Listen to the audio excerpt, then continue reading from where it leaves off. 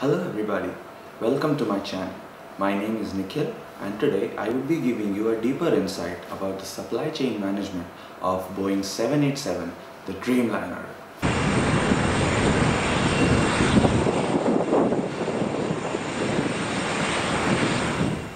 The Boeing company, formerly known as the Pacific Aero Product Company, was founded in July 1916, which is almost about 103 years ago in Seattle, Washington.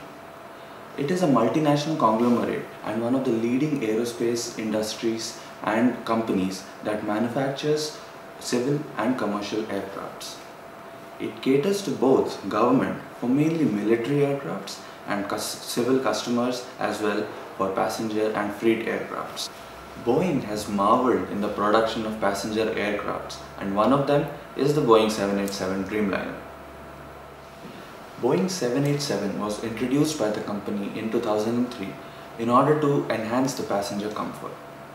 Not only did Boeing come up with a new plan of manufacturing, but also came up with an unconventional supply chain management system. Now, let us understand in detail about the conventional as well as the contemporary supply chain management systems that are employed by the company.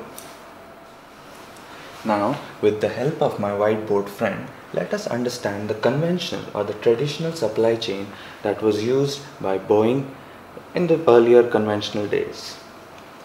The traditional supply chain was used in aircrafts like the Boeing 717 or the Boeing 737.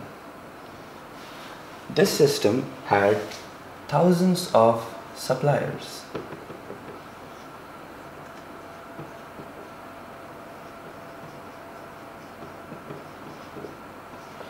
They used to manufacture parts and send it to the Boeing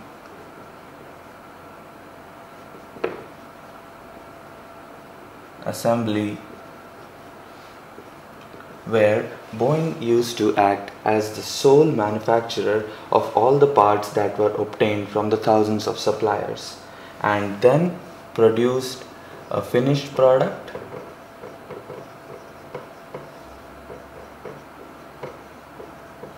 and deliver it to customer.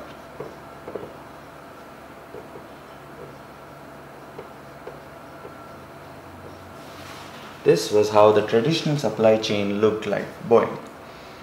Now that we have understood about the conventional supply chain of Boeing, let us switch on to the 787's unconventional supply chain that is employed by the company. Since the 787 Dreamliner has more than 2.3 million parts, Boeing cannot assemble all these by themselves. This is the unconventional supply chain system for a Boeing 787 based on a tiered and partnership structure. The tier 3 suppliers supply their inputs to the structure and system partners at tier 2. And the tier 2 helps in assembling the parts received from the tier 3 suppliers and then give it as an output to the tier 1 who are also the strategic partners and help in fabrication and assembly of the parts received from the former. After the pre-integration process is complete, it is delivered to the final assembly line located in Everett, Washington and then the final assembly starts the final product is assembled and the delivery is done to the customer as per the requirement. Now since we have seen both the supply chains, it would be apt to conclude that both have their advantages as well as disadvantages. The advantage of the traditional supply chain was that it gave Boeing an authority over almost everything. But the disadvantage on the other hand would be that it gave a liability that everything was supposed to be done by Boeing and gave it a lot of workload. When it comes to the contemporary supply chain, the Boeing 787 that employed, so it gives Boeing an opportunity to communicate with a lot of different tiers of suppliers that it used to interact with. And the disadvantages would be that Boeing had limited control and accessibility over the production and uh, pre-integration processes. So this was more or less about the supply chain management systems of Boeing in the conventional as well as the contemporary times. Hope this video has helped you and until next time, bye bye. Take care.